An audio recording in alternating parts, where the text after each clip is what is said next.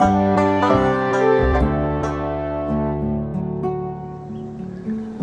now in Foundry Cove. This is one of the most peaceful places along the Hudson. This is where the American Revolutionary War battles were fought, where the Industrial Revolution began. This is where the Hudson River School of Painters got its start. The modern environmental movement was born here. So many stories come together here in the Hudson Highlands. And as we approach the 400th anniversary of Hudson's sail up the river, there's no better time to learn about that history. But most important, to begin to plan for a sustainable 100 years from now into the future.